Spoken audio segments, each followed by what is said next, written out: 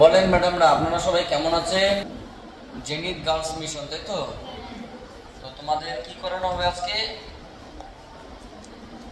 গ্রাভিটেশনের আমাদের দুটো প্রমাণ বাকি ছিল, স্পেশালি জি এর পরিবর্তনের সঙ্গে, সে দুটো আলোচনা হবে, তাই তো?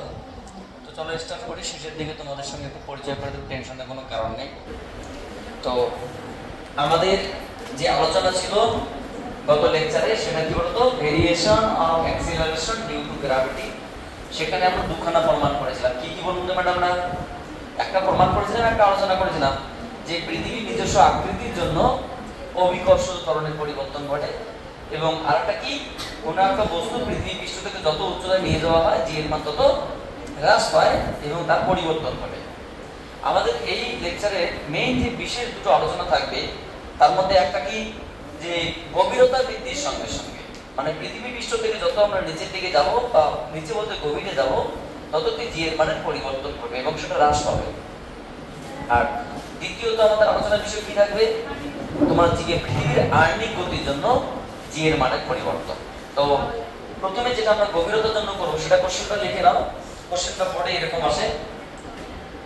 কি বলুন তো ম্যাডামরা ভূপৃষ্ঠ থেকে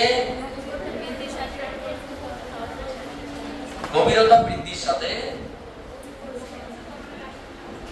গভীরতা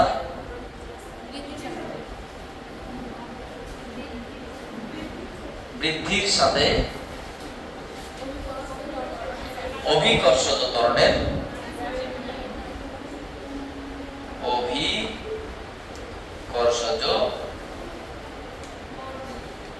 ত্বরণের রাশিমালা নির্ণয় রাশিমালা কি মালা? নট। কিরণমালা নির্ণয় করো আচ্ছা স্যার, আপনি যেটা টপিক আলোচনা করবেন, তার ম্যাথমেটিক্যাল এক্সপ্রেশন কি আসবে? g equals to g g prime equals to g into 1 minus h by r আচ্ছা বলুন তো ম্যাডাম আগের এক্সপ্রেশনে কি ছিল? উচ্চতার সঙ্গে সঙ্গে। g প্রাইম সমান আমরা কি পেয়েছিলাম? G into 1 minus 2h by r ছিল এখানে h বাই r আগে যদিও 2h বাই r টা কারেক্টেড পার্ট ছিল প্রকৃত মান ছিল না, কিন্তু এটাই তার প্রকৃত মান বুঝতে পারলেন তো তার মানে এখান থেকে আমরা কি বুঝতে পারছি? ত্বরণ বাড়ছে না কমছে? কমছে। তাহলে ভূপৃষ্ঠ থেকে ভেতরে গেলেও ত্বরণ কমবে, আর উপরে গেলেও ত্বরণ কমবে। তো সেটাই আমরা দেখব। সেটা আমরা আলোচনার পর্বে নিয়ে আসি। সলিউশন সমাধান। এখানে আমাদের দুই, তিনটে বিষয় জানতে হবে। অত্যন্ত গুরুত্বপূর্ণ হবে। এখানে পৃথিবীর ভরটা অত্যন্ত গুরুত্বপূর্ণ ভূমিকায় অংশগ্রহণ করবে। দেখো, প্রথমে আমি তোমাদের সিম্পল ভাবে বলে দিচ্ছি, যেটা আমরা জানতাম, সেটাই আমরা নিলাম। এটা একটা পৃথিবী। আমরা প্রথমে ঝামেলার দিকে যাচ্ছি না। পৃথিবীর ভর কত, ম্যাডাম? Capital A. কোন একটা বস্তু আমরা কি নিলাম? এখন তাদের মধ্যে দূরত্ব কত? Capital R. নিচের দিকে কত ধরনের টানছে? জি। তাহলে আমরা এখানে কি বলতে পারি যেমনটা আমরা আগে লিখেছিলাম মানে যেটা আমরা আগে জানতাম সেটা লিখি। ধরা যাক। কি করা যাক? ধরো স্মল এম ভরের কোন বস্তুকে বস্তুকে ভূপৃষ্ঠে ভূপৃষ্ঠের উপর রাখলে রাখলে পৃথিবী, কি বলুন তো ম্যাডামরা? পৃথিবী ওই বস্তুকে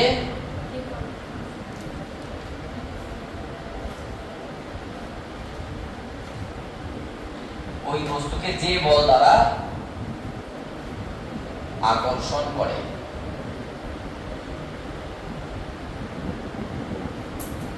আকর্ষণ করে। তা হলো তাহলে কি বলতে ম্যাডাম না সেটা হচ্ছে এফ বলি। এফ সমান কত? জি ইনটু পৃথিবীর ভর স্মল বস্তুর ভর বাই পৃথিবীর পৃষ্ঠের ব্যাসার্ধ আর এটা। এবং সেটা কত ধরনের টানছে কেন্দ্রের দিকে? জি ধরনের। জি সমান সমান কি? পৃথিবীর মানে গ্র্যাভিটেশনাল ফোর্স বাই যাকে টানছে তার ভর তার মানে কি দাঁড়াল জি এম বাই এটাতে কোনো সমস্যা নেই, কারণ এটা আমরা প্রাথমিকভাবে রাখলাম যেটা আগেও ছিল। এবার আমাদের গভীরতার সঙ্গে দেখতে হবে। অত্যন্ত গুরুত্বপূর্ণ একটা কনসেপ্ট ধরি, পৃথিবীর গড় ঘনত্ব রো। এবং স্পেশালি আমি তোমাকে সেকেন্ড স্টেপ বলছি, বলতে এটা একটা অরিজিনাল পৃথিবী ছিল? ঠিক আছে? এবার কোথায় আমরা গেলাম বলতো ভেতরের দিকে গেলাম এটা কল্পিত পৃথিবী কোন একটা বস্তুকে কোথায় নিয়ে গেলাম? কোন একটা বস্তুকে পৃথিবী ঘুরে ঘুরে আমি এই জায়গায় স্থাপন করলাম। বলুন তো ম্যাডামরা, এইটুকু দূরত্ব কত?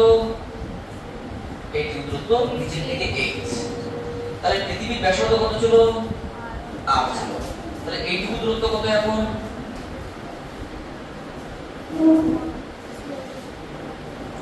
এইটুকু দূরত্ব কত এইটুকু দূরত্ব এইচ তাহলে এইটুকু দূরত্ব কত এখন? এইটুকু দূরত্ব তোমার হচ্ছে আর মাইনাস তাহলে এখানে কি আছে? স্মল এন ভরের বস্তু আছে। পুরো পৃথিবীটার ভর কত? পুরো পৃথিবীটার ভর ক্যাপিটাল এন এই যে ছোট্ট পৃথিবীটা আছে, ভালো করে বোঝার চেষ্টা এটা কিন্তু গুরুত্বপূর্ণ বিষয়। এই ছোট্ট পৃথিবীর ভর কত? ধরে নাও, ছোট্ট পৃথিবীর ভর এম প্রাইম এটা আমাকে আগে বের করতে হবে। স্যার ছোট্ট পৃথিবীর ভর কেন আপনি বের করবেন। আচ্ছা আমি যখন কোন একটা বস্তুকে এখানে রেখেছিলাম, তখন কে টেনেছে? পৃথিবী টেনেছে এবং পৃথিবীর সমস্ত ভর মিলে টেনেছে। এখন বস্তু কোথায় গেছে? ভেতরে গেছে। এবার ভেতরে মানে এইটুকু জায়গায় পৃথিবীর ভর দিয়ে ওপরে টানছে বাইরে তো কেউ টানছে না, বাইরে তো বাইরে চলে গেছে। অর্থাৎ বিষয়টা হচ্ছে কি যখন আমরা কোনো বস্তুকে পৃথিবী পৃষ্ঠ থেকে ভেতরের দিকে যাব তখন যেখানে স্থাপন করব, সেই ব্যাসার্ধকে কল্পনা করে যে পৃথিবী হবে, সেই পৃথিবীর ভরের জন্য ওই বস্তুকে কেন্দ্রের দিকে টানবে। অর্থাৎ সমগ্র পৃথিবীর জন্য টানবে না। আমাদের এখন ইমার্জেন্সি ভাবে কি বের করতে হবে? এম প্রাইম টা বের করতে হবে। যদি আমরা এম প্রাইম টা পেয়ে যাই, তাহলে কিন্তু আমাদের মানে স্মল এম এম প্রাইম দূরত্ব আর মাইনাস এইচ তাহলে সেক্ষেত্রে আমরা নতুন এম প্রাইম পাবো, নতুন জি প্রাইম পাবো, যেটি আমাদের আলোচনায় মেন বিষয়। বুঝতে পারলেন? তাহলে প্রথম পয়েন্ট বলুন তো ম্যাডামরা এখানে আমরা কি বলতে পারি, যেহেতু জানতাম যে ক্যাপিটাল এম সমান সমান কি? বা আমরা এটা কি জানতাম? যে পৃথিবী যদি ঘনত্ব রো হয়, পৃথিবীর ঘনত্ব কত? রো সমান সমান কি? ক্যাপিটাল এম বাই ভি বা capital M by four third by R cube বা three M by four by R cube আর ভালো করে বলতে গেলে, বলুন তো এখানে, তোমার হচ্ছে কি পৃথিবীর ভরটা অ্যাকচুয়ালি তাহলে কত আসলো? Four by three four by three by R cube তাই না? যেটা আমরা একশো জান জেনেছিলাম, আবার বললাম। তাহলে আমরা কি বলতে যদি পৃথিবীর গড় ঘনত্ব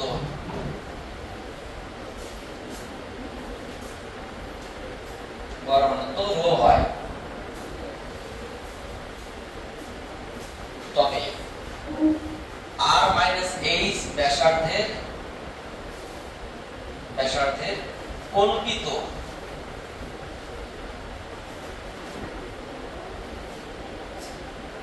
পৃথিবীর ভর। কত বলতে পারি আমরা পৃথিবীর ভর কত হবে? কল্পিত পৃথিবীর ভর যদি আমরা m প্রাইম করি m প্রাইম সমান সমান কি? M প্রাইম সমান সমান রো ইনটু v প্রাইম কেন? রো সমান সমান কি? M prime by v prime কেন, স্যার? ঘনত্ব প্রত্যেকটা জায়গায় যা আছে ভর ঘনত্ব আমরা বলেছি। তাহলে রো সমান সমান যেমন m বাই v, রো সমান সমান যেমন m prime by v prime তাহলে m প্রাইম সমান সমান কি? Rho v prime sir, m prime by v prime মানে কি? M প্রাইম মানে ছোট্ট পৃথিবীর ভর আর v প্রাইম মানে ছোট্ট পৃথিবীর আয়তন। তাহলে আমরা কি লিখতে পারি বলতে পারি আমরা? আমরা লিখতে পারি রো ইনটু v প্রাইম মানে কি? 4 third by capital, R minus তার এবার বলুন তো, রো এর মান আমরা কি পেয়েছি? রো এর মান আমরা এখান থেকে বলতে পারি। কত? 3m বাই 4 বাই আর কি? Into 4 third by R minus তার তাহলে 4 থার্ড বাই 4 থার্ড বাই কেটে গেল তাহলে কি পড়ে থাকল বলতো m by r cube into R minus H star তাহলে আমরা কি লিখব এম কি লিখব তাহলে কি এম ইনটু কি লিখব আর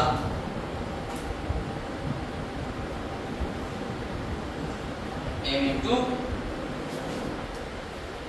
থাকুক এটা দেখো করে দেখা যাবে এটা তাহলে কি আসলো বলতে? এম প্রাইম সমান কি আসলো? এম প্রাইম সমান সমান আসলো এবার প্রশ্ন হচ্ছে স্যার, আপনি কি করলেন? মাথায় কিছু কাজ করছে না। প্রথম বিষয় আমি কিছুই করিনি। পৃথিবী নিয়েছি, পৃথিবী পৃষ্ঠের উপর মানে ক্রিয়াশীল বল, ত্বরণ আমরা বের করেছি। দ্বিতীয় পয়েন্ট আমার মেইন উদ্দেশ্য ছোট মানে গোলকের ভর বের করা। ঘনত্ব টনত্ব ছোট গোলকের ভর বের করা। কার রেসপেক্টে মোট ভরের এত অংশ থাকল ছোট গোলকের। বুঝতে পারলেন? এবার এই স্মল ভর এবং M prime R minus H দূরত্বে কত বলে টানছে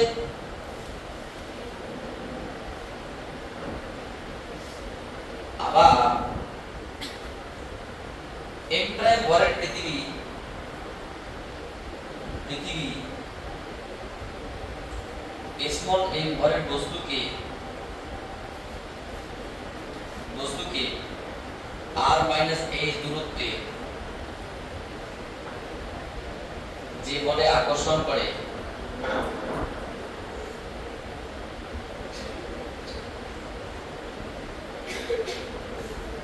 তা হলো কি বলুন তো ম্যাডাম তা হলো এম প্রাইম সমান সমান G M prime M by R minus H তার হোল স্কয়ার বুঝতে পারলেন কারণ G into small M prime M M prime M by R minus H তার হোল স্কয়ার তাহলে এটা কি লিখব তাহলে এখানে জি প্রাইম তাহলে কি লিখতে পারি সো জি প্রাইম সমান সমান কি লিখতে পারি জি প্রাইম সমান লিখতে পারি। তাহলে কি দেখলাম বলো তো?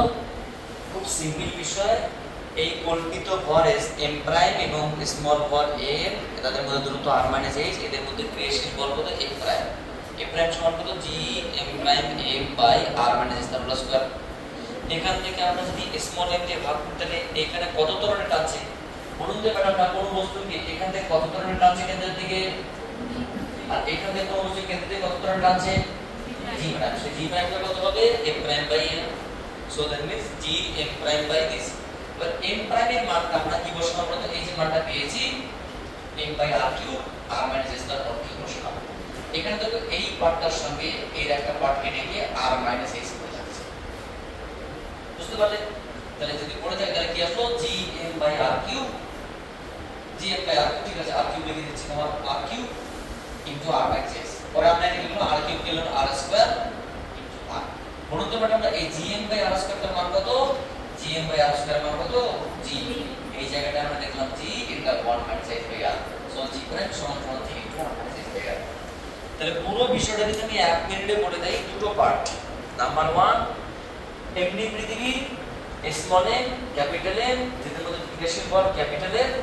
এবং করণ জি প্রাইম জি সমান দিস কল্পিত পৃথিবী স্মল এম প্রাইম মানে এম প্রাইম আর স্মল ভর এদের মধ্যে ক্রিয়াশীল বল এম প্রাইম বা এম প্রাইম বা জি প্রাইম সেই জি প্রাইমের সঙ্গে জি এর সম্পর্কটা আসবে আমাদের এখানে কি বের করতে হবে স্পেশালি এম প্রাইম সমান সমান দিস এবার বলো তো জি প্রাইম বড় না জি বড় এখানে? অবশ্যই জি বড় তাহলে তরঙ্গটা কি আস্তে আস্তে কমছে। তাহলে আমরা কি বলতে পারি বলতে পারি আমরা জি প্রাইমটা কি সমান সমান কি? G minus G H by R তাহলে কতটা তরঙ্গ কমলো জি মাইনাস জি প্রাইম সমান সমান জি এইচ বাই আর অর্থাৎ ত্বরণের হ্রাস, গভীরতা বৃদ্ধির সঙ্গে সঙ্গে ত্বরণের হ্রাস কতটা হলো? এরটা জি সমান সমান জি এইচ বাই আর এতটা ত্বরণ হ্রাস পেল। এখানে একটা জিনিস আমাদের খুব গুরুত্বপূর্ণ স্পেশালি আগের লেকচার এবং এই লেকচারের মধ্যে সবথেকে গুরুত্বপূর্ণ পরীক্ষা খুব আসে যে উচ্চতা বৃদ্ধির সঙ্গে এবং গভীরতা বৃদ্ধির সঙ্গে অভিকর্ষ ত্বরণকে গ্রাফিক্যালি রিপ্রেজেন্টেশন করা, বা গ্রাফিক্যালি দেখাও কি হয়। এই দিকে আমরা ত্বরণ দেখানোর চেষ্টা করেছি। এদিকে বলতো? পরিবর্তিত ত্বরণ। আর এদিকে কি বলতো? দূরত্ব।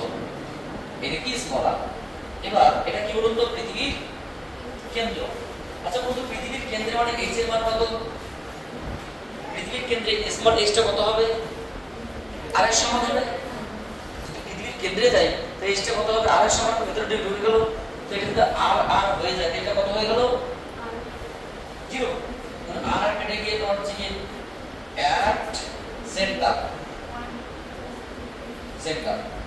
তো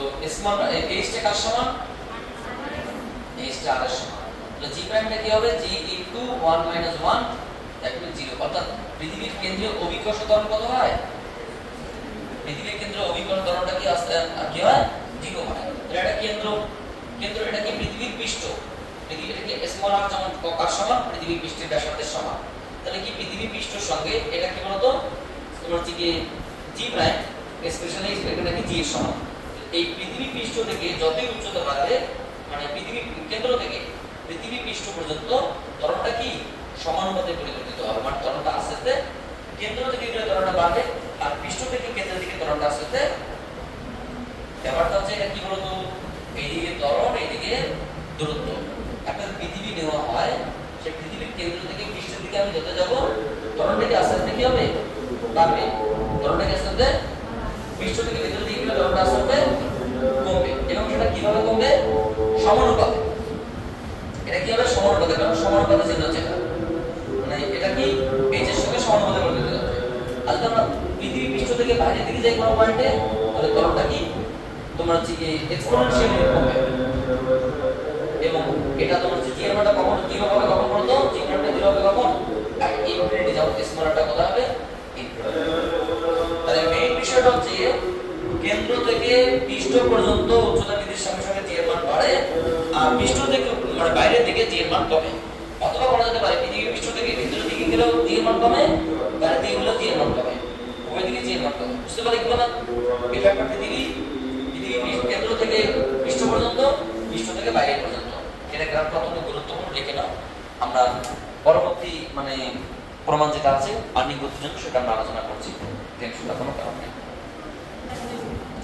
তাহলে আমাদের আরেকটা টপিক কি বলতো পৃথিবীর আর্নিক গতির জন্য অভিকর্ষজ ত্বরণের রাশি মান নির্ণয় যেটা আমরা দেখব জি প্রাইম সমান সমান G into 1 minus omega square R cos square theta by G এবং এটা কীভাবে পরিবর্তিত হয় তার সম্পর্কে বিস্তারিত আমরা আলোচনা করব। আচ্ছা এটাকে আমরা তুলে দিই কোথায় ডাস্টারটা? ডাস্টারটা এখানে আছে। আচ্ছা আমরা তাহলে কি হিসাব করছি বলতো? The change in gravitational acceleration due to diurnal motion of earth. পৃথিবীর আহ্নিক গতির জন্য অভিকর্ষজ ত্বরণের রাশিমালা ব্যাপারটা কেমন? পৃথিবী যখন ঘোরে এক পাক ঘুরতে কত সময় লাগে? পৃথিবী যখন ঘোরে, এক পাক ঘুরতে কত সময় লাগে ম্যাডামরা চব্বিশ ঘণ্টা। তবে দুঃখের বিষয়, চব্বিশ ঘণ্টা সব জায়গায় লাগে না। পৃথিবীর বিভিন্ন স্থানে দিনের দৈর্ঘ্য বিভিন্ন রকম। যারা নিরক্ষীয় অঞ্চলে থাকে তাদের দিনের দৈর্ঘ্য একরকম হয়, দিন বা রাতের দৈর্ঘ্য একরকম হয়। যারা মেরু অঞ্চলে থাকে, তাদের দিনের বা রাতের দৈর্ঘ্য একরকম হয়। সেক্ষেত্রে আমরা জানব যে কীভাবে পরিবর্তন হয়। তো এটা কি বলুন তো ম্যাডাম একটা? পৃথিবী। আগে পৃথিবী সম্পর্কে তোমাকে জানতে হবে।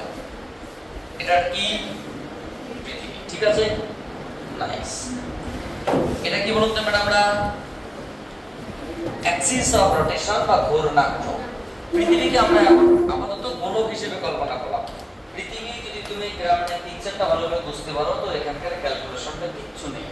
এবং অঙ্ক টঙ্কগুলো খুব সহজেই ক্যালকুলেশন করতে পারবে। স্পেশালি এখান থেকে কিন্তু অঙ্ক বোর্ড এক্সামেও আসে। ঠিক আছে? মানে এই সূত্র দিয়ে। টেনশনের কোনো কারণ নেই। এটা কি বলতো? Axis of rotation axis of rotation বা ঘূর্ণাক্ষ মানে যে অক্ষের চারিদিকে পৃথিবী নিজেই ঘোরে, তার নাম কি অ্যাক্সিস অফ রোটেশন যেমন পৃথিবী কোন কক্ষে ঘোরে? সূর্যের কক্ষ।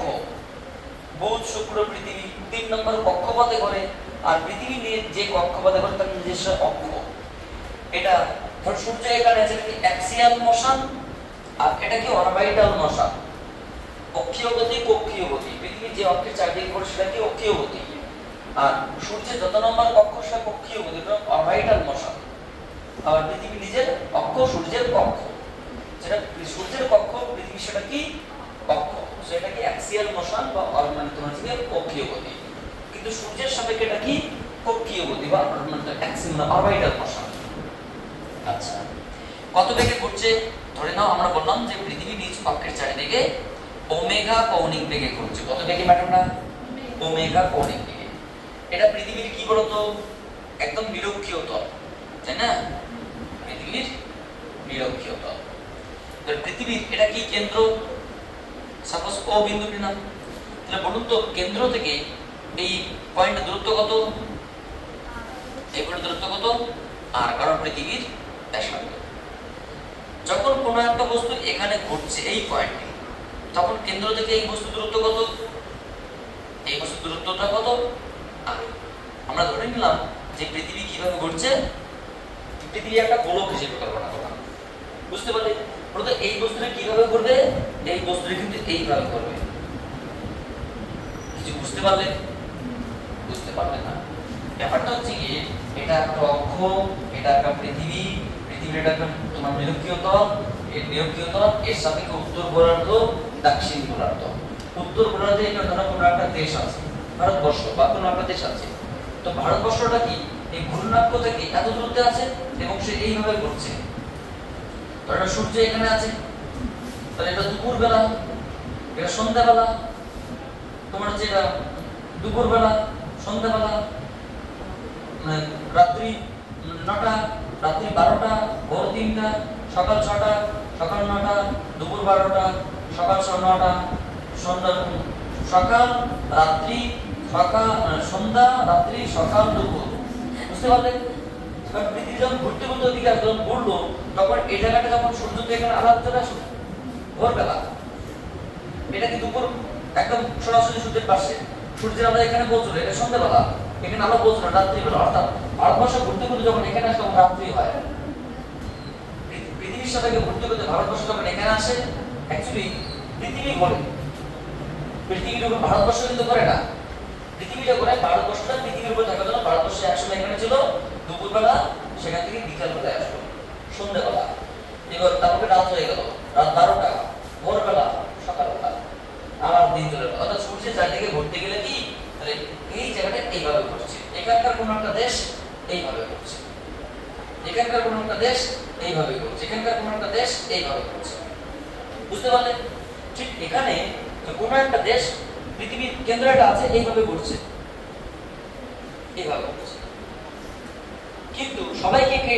ভারতবর্ষে যা বিল্ডিং বিল্ডিং আছে, সবাইকে কে টান পৃথিবী কোন দিকে টানছে? অবশ্যই কেন্দ্রের দিকে টানছে। কত ধরনের টানছে? এখানে যে ধরনের টানছে। বিষয়গুলো বোঝার চেষ্টা করো। কিছু বুঝতে পারলে কি বললাম? তাহলে প্রথম পয়েন্ট পৃথিবী একটা নিজস্ব কল্পনা করলাম। তাহলে পৃথিবীর উপরিস্থিত কোনো একটা পয়েন্ট এখানে ক্ষুদ্র একটা আমরা ভর নিলাম, যে ভরটা কত স্মল এম স্মল এম ভরের কোনো বস্তু, এই অক্ষের মানে অক্ষের সাপেক্ষে কত ব্যাসার্ধে ঘুরছে বলো তো? অক্ষের সাপেক্ষে স্মল আর ব্যাসার্ধের পক্ষে ঘুরছে এটা কিন্তু স্মল আর এটা কত ক্যাপিটাল আর তাহলে কত অক্ষাংশে আছে বস্তুটা? পৃথিবী নিরক্ষীয় তল থেকে থিটা অক্ষাংশে আছে। এই যে বস্তুটা বা যে জায়গাটা পৃথিবীর নিরক্ষীয় তলে কত অক্ষাংশে আছে, এটাকে অক্ষাংশ বলা হয় ল্যাটিটিউড বলা হয়। এটা কি বলা হয়? ল্যাটিটিউড বা অক্ষাংশ। তাহলে পৃথিবীর নিরক্ষীয় তল থেকে থিটা অক্ষাংশে কোনো একটা বস্তু আছে। যখন এই বস্তুটাকে কেন্দ্রের দিকে টানছে, তাই না? আর এটা কি যখন ঘুরবে, ঘুরতে গেলে বাইরের দিকে কত বল কাজ করছে বলো তো ম্যাডামরা বাইরের দিকে অপকেন্দ্র বল কত? এমবি স্কয়ার বাই আর কারণ ব্যাসার্ধ কোন একটা যখন বৃত্তাকার পথে ঘোরে তখন বাইরে থেকে যে অপকেন্দ্র বল কাজ করে, সেটা কত? এমবি স্কয়ার বাই আর সেক্ষেত্রে আমরা কি কি বলতে পারি?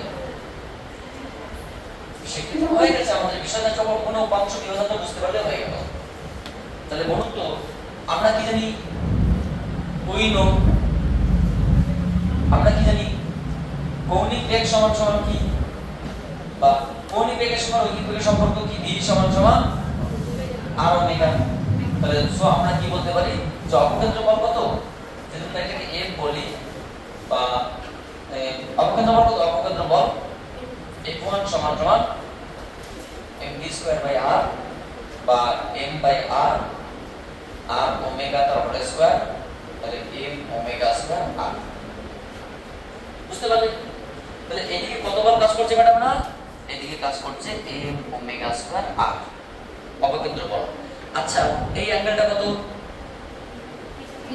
তাহলে এই অ্যাঙ্গেলটা কত হবে? থিটাই হবে। তাহলে এর কতটা অংশ এদিকে কাজ করছে? m omega square r cos theta লাগা পাস খারাপ সাইন তাহলে কোন একটা বস্তুকে, কোন একটা বস্তু ভর কত কে বস্তুকে কে টানে?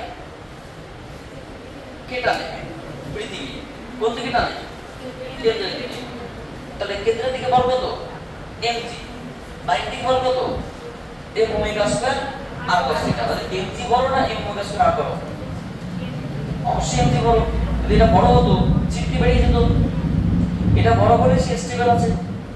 বুঝতে পারলেন তাহলে এক্ষেত্রে আর একটা জিনিস আমরা বলতে পারি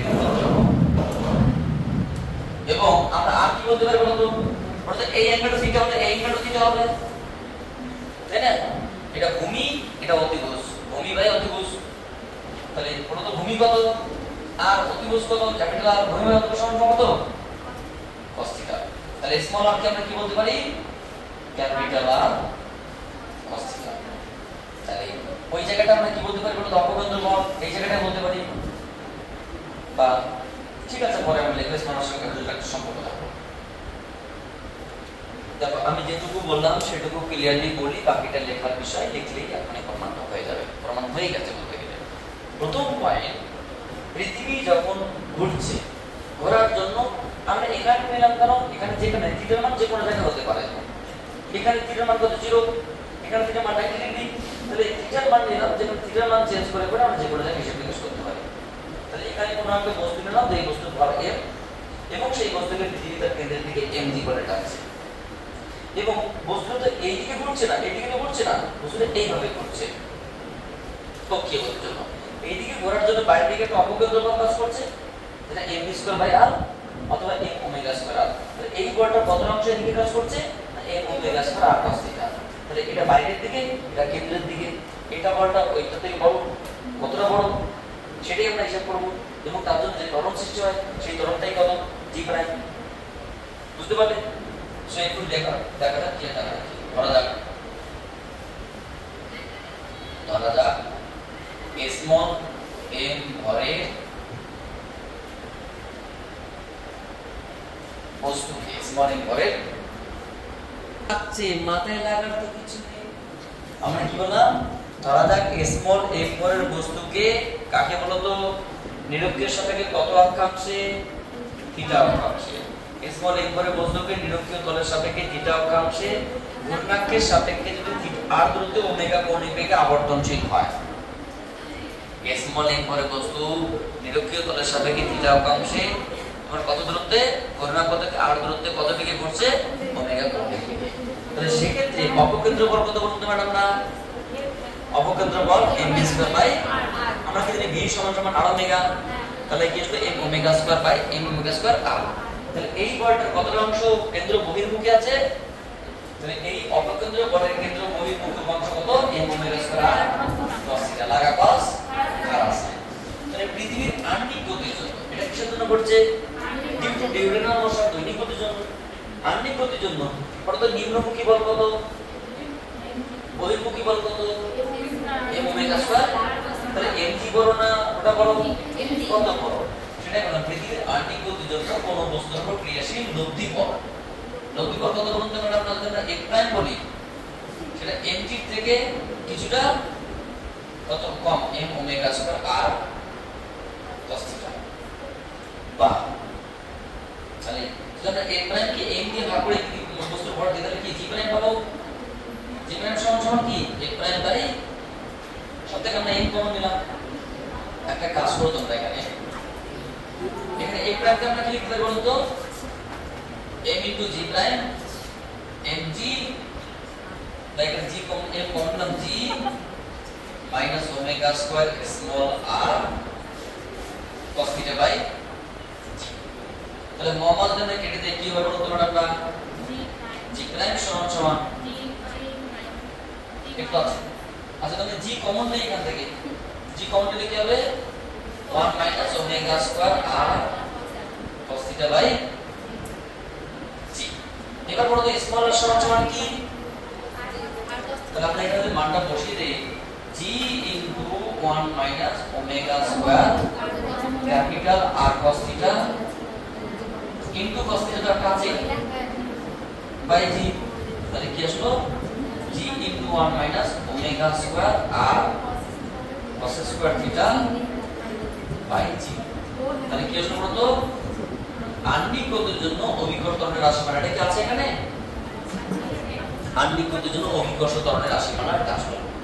আমি পরিষ্কার করে বলে দিচ্ছি এখানে, যখন পৃথিবীতে কোনো একটা বস্তু, কোনো একটা জায়গায় আবর্তনশীল হয়, সেখানে অপকেন্দ্র বল এদিকে কাজ করে, এবং বহির্মুখী গত এম স্কয়ার আর থিটা আর নিম্নমুখী গত এম জি তাহলে এম জি থেকে এটা কম, কত কম, এত কম, সেটা কত আসলে এত ত্বরণ সৃষ্টি হলো এখানে ছোট্ট ছোট দুটো কেস আছে। নাম্বার ওয়ান তোমাকে প্রশ্ন করা হলো তো, মেরু অঞ্চলে থিটার মান কত? 90 ডিগ্রি নিরক্ষীয় অঞ্চলে থিটার মান কত তাহলে থিটার মান চেঞ্জ হলে জি এর মান চেঞ্জ হবে তাহলে কোনো প্রশ্ন করা হয় মেরু অঞ্চলে থিটার মান যেখানে 90 ডিগ্রি সেখানে পরিবর্তনশীল জি এর মান কত তাহলে আমরা কি বলতে পারি? জি অবশ্যই চেঞ্জ হয় না। তাহলে কেস 1 কি বলতো? যখন থিটা সমান সমান কত? এটা কোথায়? মেরু অঞ্চল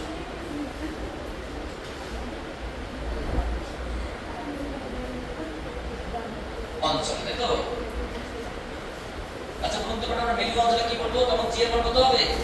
জি প্রাইম সমান g into 1 minus omega square r cos square ENT by g g into 1 minus 0 by তার মানে কি আসলে বলতো কোনো পরিবর্তন। তার মানে কি পৃথিবী পৃষ্ঠের অভিকর্তন যা হয় নিরক্ষীয় অঞ্চলে মানে মেরু অঞ্চলে, তাই হয় নো চেঞ্জ কি বলতে পারি আমরা no change no change case two. কোথায় বলতো অঞ্চলে? যখন বুঝতে পারছি তোমাদের কষ্ট হচ্ছে। কিন্তু কিছু নেই যেটা আমার কত এটা কথা বলতে পারি আমরা নিরক্ষীয় অঞ্চলে।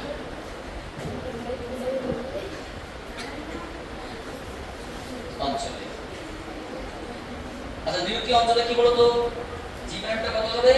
জি প্রাইমটা g into 1 minus omega square r cos square 0 degree by g তাহলে g into 1 minus omega square r by g এখানে সব থেকে কম পাই মানে কি? জি দিয়ে গুণ করে দিলে কত হবে? জি মাইনাস ওমেগা স্কয়ার তাহলে এখানে কি জি এর মান বাড়লো না কমলো? কমলো। কতটা কমলো? কতটা যদি বলি ডেল্টা সমান সমান কি? জি মাইনাস জি প্রাইম সমান ওমেগা স্কয়ার এতটা মান কমলো অর্থাৎ আণবিক গতির জন্য নিরক্ষীয় অঞ্চলে জি কি পায় মেরু অঞ্চলে কিছু হয় পরিবর্তন হয় না, এবং পরিবর্তন হয়। এটা কতটা হ্রাস পায়? তাহলে ওমেগা সমান কি বলতে পারেন আমরা 2 পাই বাই টি তার হোল স্কয়ার ইনটু আর তাহলে 2 পাই বাই টি মানে কি?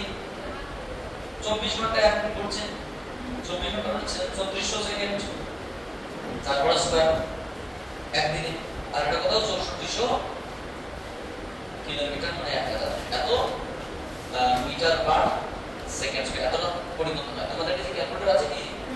তাহলে কি কত আসে। যদিও খুবই কম পরিবর্তন হবে সেটা আমরা দেখে নিচ্ছি। সমস্যা নেই। টু বাই বাই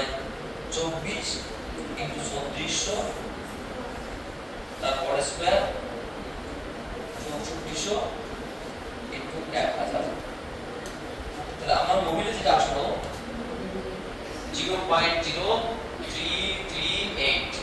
কত পার্সেন্ট হ্রাস পায়? সো ডেল্টা জি এর পার্সেন্টাইল পরিবর্তন কত পাই আমরা এই শতকরা পরিবর্তন কত? শতকরা পরিবর্তন 3.38% হ্রাস পায় অত্যন্ত গুরুত্বপূর্ণ কোশ্চেন এটা কিন্তু এমসিকিউ এসিকিউ বা যে কোনো টাইপসের কোশ্চেন আসে। তো এই হচ্ছে কি তোমাদের পৃথিবীর আর্থিক গতির জন্য যে পরিবর্তন মানে প্রত্যেকটা প্রমাণ ছোট ছোট এবং জাস্ট মাত্র একটা করে বোর্ড লাগে। বুঝতেই পারছ, এটা আমরা হালকা করে জানার চেষ্টা করলাম। আমি তোমাদের সঙ্গে একটু ছোট্ট করে পরিচয় করে দিচ্ছি। তোমরা তারপরে লিখবে টেনশনের কোনো কারণ নেই। তো তোমরা কি প্রত্যেকে ভালো আছো, ম্যাডামরা? যারা দর্শক বন্ধুরা ভিডিও দেখছ, তাদেরকে বলছি, তোমাদের যদি কোনো জায়গায় বুঝতে সমস্যা হয় ডাইরেক্টলি তোমরা আমাকে বলবে। আমি সেই জায়গাগুলো মানে তোমাদের রিকভার করার চেষ্টা করব টেনশনের কোনো কারণ নেই। কিন্তু তোমাদের সেটা মুখ খুলে বলতে হবে যে আমরা এই জায়গাটা বুঝতে পারছি না। আর আপনাদের যদি কোনো জায়গায় বুঝতে না পারেন, সেটা বলুন, সেটা আমি সেই জায়গাটা রিকভার করার চেষ্টা করব। বলুন, ম্যাডাম, আপনাদের কোনো জায়গার সমস্যা? কোনো জায়গার সমস্যা নেই, যাক, এটা মন দিয়ে লিখছে মানে আমাদের ভিডিও দিকে কোনো রকম ফোকাস নেই। So thank you for watching A next class.